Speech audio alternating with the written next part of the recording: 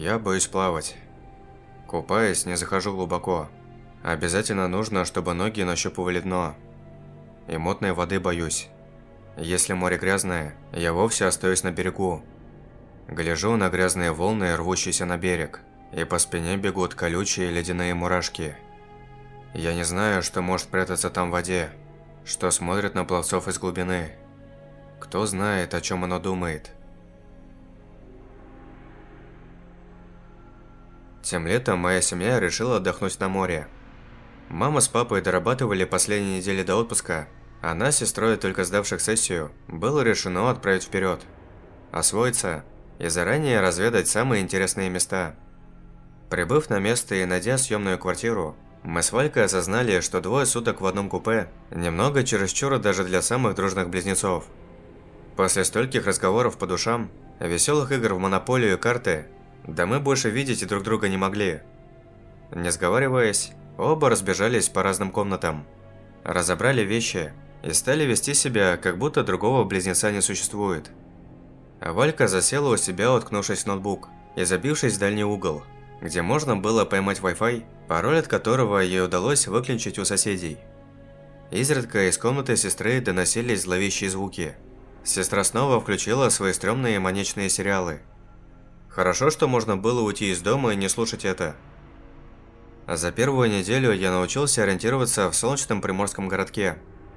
Разведал рынки, Сбил ноги, поднимаясь туда-сюда по каменным лестницам, и выяснил, что на людных пляжах мне делать нечего. Слишком там много неприятных личностей. Вода грязная, торговцы еще эти назойливые, отвратительная попса из местных кафешек по вечерам.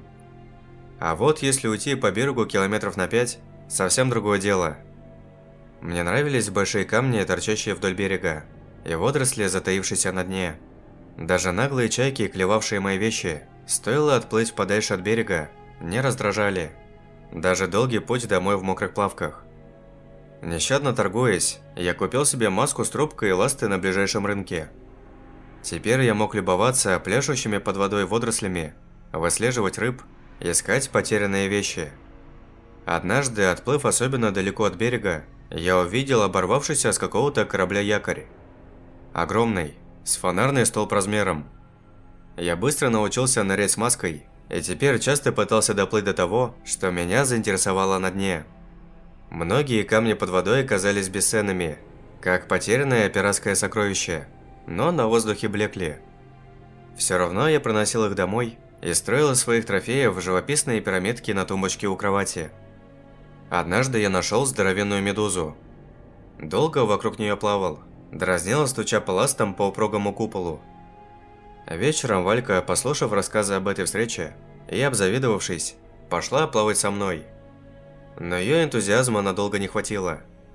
Кто еще выдержит три часа торчать на береге, пока брат пытается выковырять из дна какой-то особенно интересный камень? На следующий день я снова пошел купаться в одиночестве. Море выглядело многообещающе. Чистейшие волны ласково шлепали по камням, солнечные блики плясали на водной глади. Сколько всего можно найти в такой прозрачной воде? Идя по тропинке в сторону самых безлюдных пляжей, я чуть не подпрыгивал от предвкушения, придерживая еще влажное после вчерашнего купания полотенце на плече. На другом болтался пакет с запотевшей маской и бутылкой любимого кваса. Добравшись до своего любимого нырятельного места, я поморщился. А в воздухе повис неприятный запах гнили. Словно где-то лежала сдохшая чайка, или выброшенная на берег рыбина. Впрочем, задерживаться на берегу я не собирался, а в море воздух всегда свежий. Я огляделся, втайне надеясь увидеть источник вони и выбросить его подальше в кусты. Ничего. Только пара бутылок из-под пива. Иногда тут все же встречаются другие любители одиноких прогулок. Некоторые вот сорят. Я удивленно нахмурился, когда мой взгляд упал на большие камни, виднеющийся на том конце пляжа. Что здесь делает ребенок? На самом дальнем камне, у самых волн, перебирающих желтоватые водоросли, сидела девочка лет шести, одетая в мокрое голубое платьице. Ее светлые волосы, тоже влажные, падали на лицо. Ребенок безмятежно болтал ногами в воде. «Эй, где твои родители?» – крикнул я и помахал ей рукой. В ответ девчушка замотала головой и махнула в ответ рукой куда-то в сторону воды. Мол, там купаются, она их ждет. Подумал я, сбрасывая на землю пакет и доставая из него ласты и маску. Ну и отлично. А вода была на удивление холодной. Зато медузы все попрятались. Хорошо. Я отплыл подальше, оглядывая дно. Присмотрел новый камень в свою коллекцию. Набрал воздуха и, вынув трубку изо рта, нырнул. В такой прозрачной воде я плавал впервые. Дно оказалось дальше, чем я думал. Пришлось всплывать, наградив понравившийся камень прощальным страстным взглядом. Еще через несколько нырков я обратил внимание, что белый песок на дне местами был покрыт вытянутыми ямками, словно чьи-то следы цепочками, выходящие из глубины к берегу. Что за животное их оставляет? Я вновь вынырнул, снял маску и осмотрелся. Сам не заметил, как оказался у самых камней, где видел ту девчонку. Кажется, она куда-то ушла. На ее месте я бы тоже постарался отсюда смыться. Кажется, именно тут находится источник вони. Глаза слезились, горлу подкатила тошнота. Ужасно. Я решил поскорее отплыть подальше, но напоследок все же еще разок нырнул. Ой, а что это? На дне, покрытом все теми же продолговатыми следами, лежала какая-то поросшая водорослями цепь. Таких трофеев я домой еще не приносил. Уже не обращая внимания на вонь, я набрал побольше воздуха и поплыл вниз, не сводя взгляда со своей цели. Грибок, еще грибок, работаем ластами. Уши закладывает, но не сдаемся. Готово. Пальцы сомкнулись на толстых скользких звеньях. Я потянул. Цепь, на удивление тяжелая, подавалась неохотно. С таким грузом я не всплыву. Но на тот момент, поглощенный азартом, я был готов даже за несколько подходов тянуть ее до мелководья. Вот Валька удивится. К сожалению или к счастью, но последнее звено цепи оказалось намертво прикручено к спрятанному в песке камню. Я извернулся и уперся ногами в дно. Потянул изо всех сил. Бесполезно. Эх, цепь моя цепь. Кажется, наш роман не удался. Нас разлучает судьба. Огорченно быкнув, я поплыл к берегу. Уже нащупав ластами дно, но не успев вынырнуть до конца, я зачем-то посмотрел назад в глубину. «Какого хрена?» От неожиданности я хлебнул воды и рванулся на поверхность. Откашлившись и придя в себя, нырнул снова, распахнув глаза по запотевшей маской. Ох, ничего, никого. Значит, показалось? Ведь такого не бывает, правда же? Дальше купаться расхотелось. Я побрел домой, твердо решив ничего не рассказывать Вальке. Ночью, уже засыпая и посмеиваясь над пережитым страхом, подумал, что стоит все же туда вернуться за цепью. Взять камень и попытаться ее добыть. Доказать, что я мужик, что ничего не боюсь. Это уже дело принципа. Но на следующий день Валька почему-то стала требовать внимания. Захотела на аттракционы, потом поесть, потом «Вить, тут есть зоопарк!»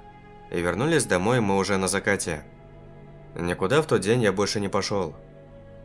А потом неожиданно приехали папа с мамой. И до самого конца отдыха купаться мы ходили все вместе. Перед самым отъездом Валька пришла ко мне в комнату и протянула мне свой открытый ноутбук. В глазах сестры плескался даже не страх. Это был ужас. «Вить, смотри!» Я недоуменно пожав плечами, взял ноутбук, на котором была открыта свежая статья, и принялся читать. С каждой строчкой мои глаза становились все больше, а ближе к концу статьи волосы на голове зашевелились. Я свернул вкладку дрожащей рукой и посмотрел на сестру. «Это случилось здесь? В этом городе?» Валька кивнула. Она нервно дрожала. «Их нашли на том пляже, где мы с тобой плавали», Восемь трупов, ведь. Словно какой-то Декстер заметал следы. Я снова открыл статью и перечитал несколько слов. Поднял руку и с силой сжал переносицу. Нет, этого просто не могло быть. Ныряльщик случайно нашел восемь полуислевших, объеденных рыбами трупов В глубине, на моем любимом пляже. Пока ни одного не опознали, но подозревали, что среди погибших находится несколько туристов, пропавших в этом сезоне. Туристы стояли в воде, привязанные за ноги длинными цепями. «Валь», я сглотнул. «А я ведь видел там цепь, когда нырял. С грузом на конце». «О боже!» Ахнула сестра и рванулась меня обнимать. А я огладил ее по волосам, успокаивая. И думал о запахе гнили на том пляже. И о том, что мне тогда почудилось на глубине. Но ведь этого не может быть, правда? Это же было не по-настоящему. Не могла же маленькая девочка в голубом платье стоять на дне у той цепи. Ее глаза не могли светиться. Но если это было так, то девчонка, кем бы она ни была, смотрела на меня с той же жадностью, что и я на тот камень, что не смог достать со дна. Вот поэтому я больше не плаваю на глубине. Вот поэтому боюсь мутной воды. Если бы не Валька с ее, как мы это называем, близняшечьим чутьем, на следующий день я бы вновь пришел на тот пляж. И кто знает, может и меня бы добавили в коллекцию.